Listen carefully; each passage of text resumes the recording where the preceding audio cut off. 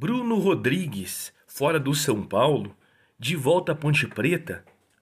Essa informação vou trazer para vocês aqui em primeira mão. Galera, mas antes gostaria muito de pedir o seu like, a sua inscrição, ajuda demais, ajuda demais os sonhos do canal.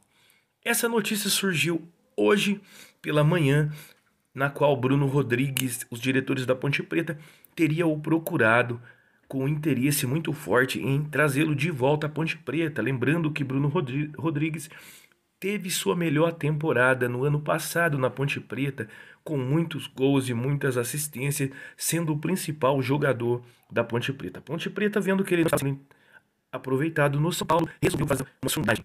Mas o São Paulo nem quis começar a negociação, galera. Ao que indica, o São Paulo tem planos muito grandes para Bruno Rodrigues. O São Paulo está entendendo que Bruno Rodrigues está apenas se adaptando ao São Paulo. Não é um mau jogador, é um jogador que está se adaptando. E quando se adaptar, vai dar certo, vai estourar no São Paulo. É um jogador do um contra um, um jogador de drible, um jogador muito raro aí no futebol mundial hoje, jogador que gosta do drible. Por isso o São Paulo não quer se desfazer tão facilmente de Bruno Rodrigues. E, e o São Paulo negou já a primeira sondagem da Ponte Preta, entendendo ter planos grandiosos, futuros e muito bom a Bruno Rodrigues. Galera, você gostou do São Paulo não querer reemprestá-lo à Ponte Preta? Deixe a tua opinião. Você acha que o São Paulo fez certo em mantê-lo aqui, em apostar nele para um futuro?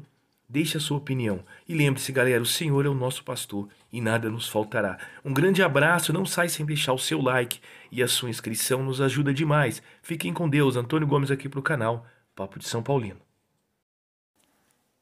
Salve galera! Quero trazer para vocês também lance da estreia de Facundo Milan ontem no Sub-20 do São Paulo, o jogador que o São Paulo foi buscar lá no Uruguai. Vocês podem observar, ele é o camisa 19 do São Paulo, esse centroavante canhoteiro aí com a 19, ele entrou no lugar do Juan. E a galera toda pedindo, sobe o Facundo, sobe o Facundo. Pelo pouquinho que eu vi dele aí, galera, eu acho que ele apanhou um pouco da bola aí, hein? O que, que vocês acham aí, ó? Vocês acham que esse garoto tá pronto já para jogar no profissional do São Paulo? Olha aí apanhando da bola no domínio de bola. Hora que pegar um zagueiro bom, experiente, brasileiro. Eu não sei não, hein, galera. Eu acho que melhor esse cara se adaptar mais um pouco aí no São Paulo, porque a gente, a torcida, a gente não acompanha treinamento, né? A gente já fica, pô, pede o cara, sobe o cara, sobe o cara, sobe o cara. Olha aí ó, a furada dele, ó. Será que esse garoto tá pronto para pegar a camisa